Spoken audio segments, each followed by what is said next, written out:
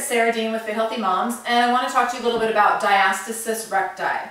So if you have a diastasis after you have a baby, that's the line formed down the center of the belly from the separation of the abdominal muscles. So if you have a diastasis, a lot of times you can't see it. Some moms do get an actual line down the middle that they can see, but a lot of times you can't see it. And most of the time after you have a baby, you have a separation there that's wide enough that there's a bunch of ab stuff you shouldn't do because you might make it worse and you want that to heal. A lot of times it'll heal on its own within the first couple months of your of giving birth, um, but you want to make sure that you're doing everything you can do so that those muscles heal and repair and recover. Otherwise, you're going to be having this bulge that sticks out and pooches out for a much longer time like yours, and of course that's not what you want. So I'm going to show you how you can test for diastasis recti today. So what you want to do is you want to lay on the floor on your back, and when you come down to the floor here, from, if you're not sure if you have it, you want to lay from your side here so that you're not engaging those ab muscles as you come down. You want to keep them relaxed.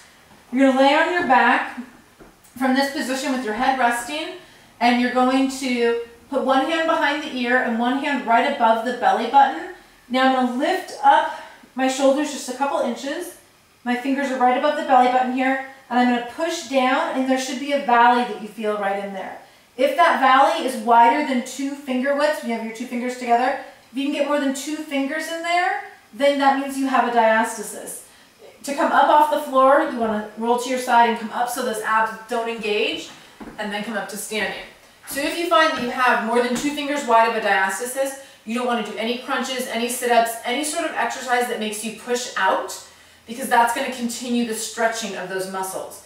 Instead, you want to do exercises where you're pulling in.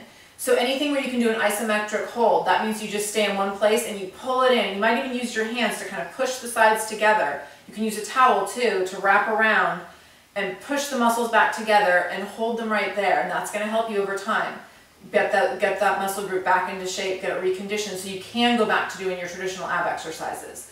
The other thing you can do is called a zipper. You can pull from the very low abs here Start to pull and imagine you're zipping up that whole line, giving that contraction as it pulls up here and then hold it at the very top for a few seconds.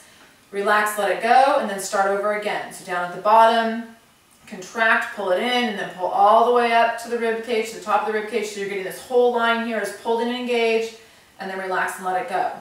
The third thing you can do is planks. You can do planks on a couple different surfaces, depending on how strong you're feeling. You could go to a banister or railing, and you can come right here, and bringing your chest in, in alignment with the railing right here. And from here, I'm just pulling my abs in as deep and as tight as I can. So again, I'm getting that isometric hold. I'm pulling in here, never pushing out. I'm always pulling in. Similarly, same idea, you can come onto the floor. So you can come onto the floor here on your elbows and your toes, and now I'm pulling up here. If I feel this in my back at all, I'll go to my knees. Same idea, pulling through my belly button, pulling as deep as I can. So always pulling up, never pushing out. Anytime you go into a crunch, you're going to get a little bit of a push out. That's going to potentially exacerbate that area and make it stretch out more. So you're always focusing on doing things where you pull in.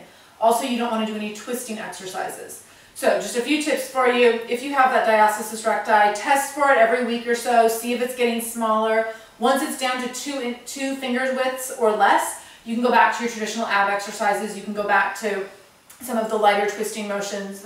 Um, and then as you get comfortable with those things, you can start to increase the volume and kind of how dynamic the move is. All right, any other questions? Let us know at Fit Healthy Moms and we'll get you started.